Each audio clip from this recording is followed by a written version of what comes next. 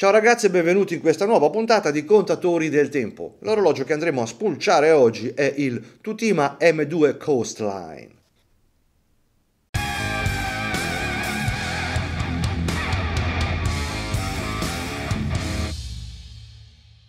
M2 Coastline, già il nome dice che è per la costa, coastline, no? un orologio da, da, mare, da ambiente acquatico, ma non un diver. E in effetti io l'ho scelto proprio per quel motivo lì, perché l'ho subito visto in vetrina lì, che è un orologio dall'aspetto tool watch, un orologio strumento, senza ghiera, con un'elevata impermeabilità e con quell'aspetto così satinato, così da attrezzo da usare tutti i giorni in condizioni particolari, anche estreme volendo, e che mi ricorda anche altri orologi, per cui rientra nei miei gusti e ho deciso di portarlo sul canale. Chiaramente me l'ho messo a disposizione il buon Giacomo, che è il titolare della gioielleria Pasquale Domenici di Viareggio, che è partner ufficiale del canale concessionaria del marchio e ce li ha a disposizione, quindi basta che li contattate e poi c'è anche altri marchi. No? Orologio quindi che rientra completamente nei miei gusti, l'ho scelto senza sapere neppure quale fosse il diametro, le misure, le caratteristiche tecniche vere e proprie. No? Lo vendi in vetrina e dici questo qua è un orologio che, può, che posso portare sul canale perché secondo me ha qualcosa da raccontare e sono qui apposta per raccontarvelo.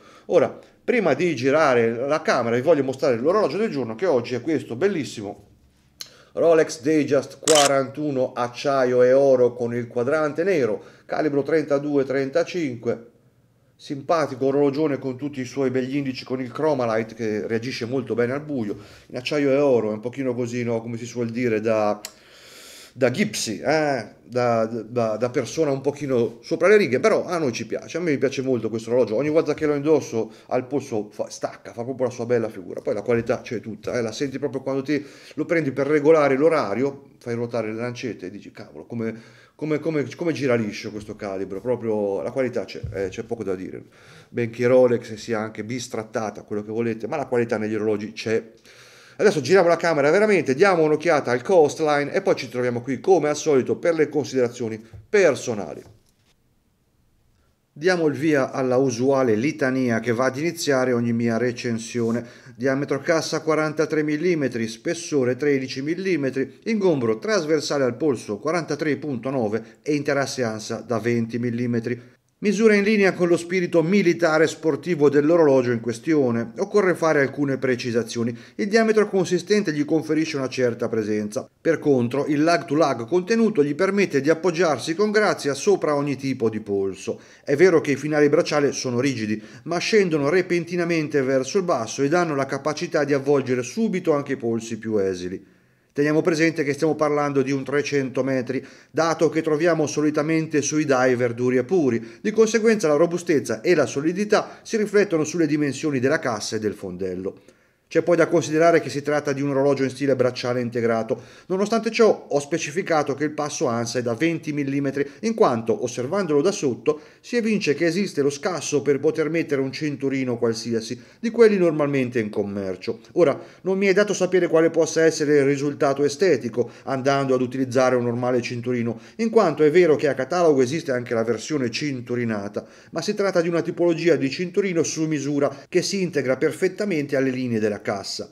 Linee della cassa che ci restituiscono un design piuttosto particolare. Una sagoma tonneau che unisce la capacità di apparire morbida e tondeggiante e dallo stesso tempo sfaccettata e spigolosa. Questo grazie all'incrocio di superfici inclinate che si uniscono dando vita a spigoli ottusi particolarmente dilatati. Dall'alto vediamo una sorta di ondeggiatura altalenante, mentre di profilo una sorta di brusco monoblocco il tutto condito da una generale opacità figlia della spazzolatura presente su ogni superficie. Insomma, un orologio completamente satinato proprio come ci si aspetterebbe da un tool watch. Ancora più apprezzabile se pensiamo che si tratta di un orologio in titanio, è quindi leggero, maneggevole e ben indossabile, ma sicuramente più complicato da rifinire a dovere come in questo caso. Allo stesso modo appare alquanto insolito il sistema utilizzato per collocare il vetro zaffiro piatto. Come si vede non è presente alcun tipo di lunetta e sembrerebbe non esserci nessun tipo di rialzamento. In realtà, ingrandendo un poco, si nota un sottilissimo bordo rialzato che fa parte del corpo cassa. Il suo scopo è quello di fungere da contenitore e guida per l'inserimento del trasparente. Parlando di sottigliezze, non si può fare a meno di menzionare una finezza tanto superflua quanto apprezzabile, ossia quel sottile pregevole bisello nel bordo inferiore, laddove il lato carrur va ad incontrare il fondello. Fondello piacevolmente chiuso che mette in mostra un basso rilievo che rappresenta una sorta di rosa dei venti in bella evidenza. Apprezzabile soluzione in luogo dei soliti fondelli trasparenti conferisce solidità e visivamente è fortemente coerente con la resistenza alle 30 atmosfere prima citata.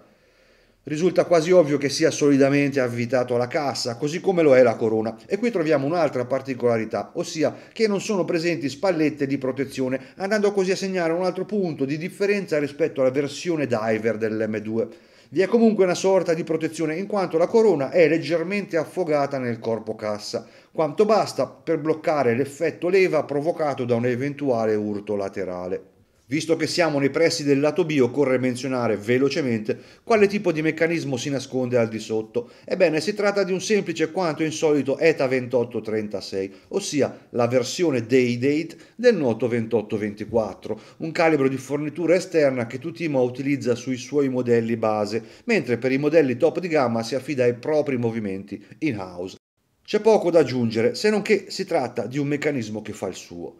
Ma ruotiamo l'orologio e diamo lo sguardo al lato A. Qui troviamo tutti quegli ingredienti tipici dell'orologeria teutonica, austerità, essenzialità e pragmatismo. Un ampio quadrante che presenta un fondo nero opaco sul quale spiccano, per contrasto cromatico, dei semplici indici rettangolari. Indici che in realtà sono composti da due separati elementi, una base piana dipinta e una sovrastruttura in rilievo realizzata in superluminova. Ad indicarci l'orario ci sono invece due sfere matita ben dimensionate e facilmente individuabili. Insomma, il tutto è chiaramente funzionale ad ottenere una elevata leggibilità e la missione è palesemente riuscita. Nessun riflesso fastidioso e lettura praticamente istantanea. L'unico dettaglio che esula dal minimalismo è quella sfera dei secondi ben presente ed in rosso scuro. Appare quindi ben visibile e riesce a farci capire al volo che l'orologio sta marciando correttamente. La scelta del rosso mi trova pienamente d'accordo. In passato mi sono capitati orologi nei quali la sfera dei secondi bianca e spessa poteva essere confusa con le altre lancette, soprattutto al colpo d'occhio. Qui no.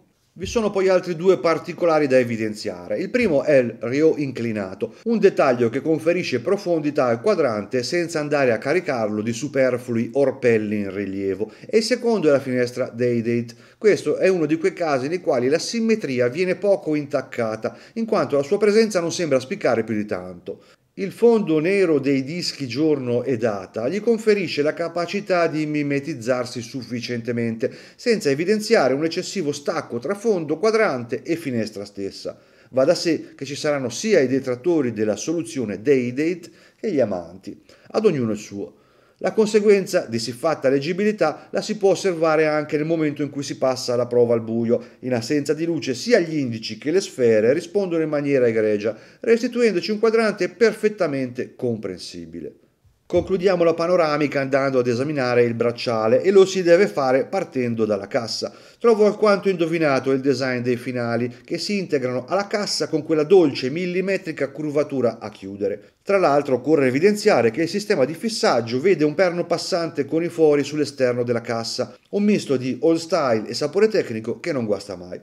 Per quanto riguarda il design ci troviamo di fronte al classico stile con le maglie ad H intervallate da segmenti a cuscino che vengono tenuti in sede da perni a vite, un sistema considerato di pregio che qui trova il suo culmine nel fatto che si tratta di un bracciale in titanio con le derivanti difficoltà realizzative delle varie filettature.